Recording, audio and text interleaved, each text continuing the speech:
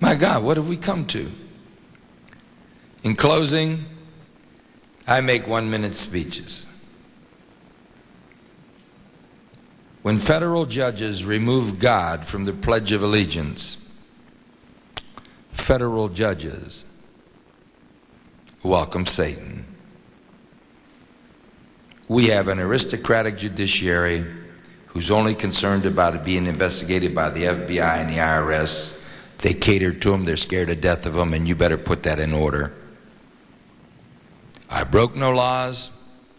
You expel me. I will go down in history as an expelled member, but you know what?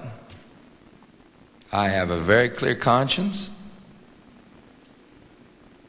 I'm proud to be an American. I hate him.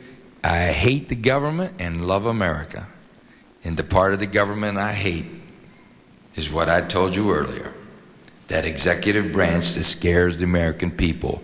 And let me close by saying no American should be afraid of our government. It is our government. And you should help take it back. I think the Republicans can do that. I think the Democrats want to do that. And I think they're going to take back the House. And somebody better sure as hell do that.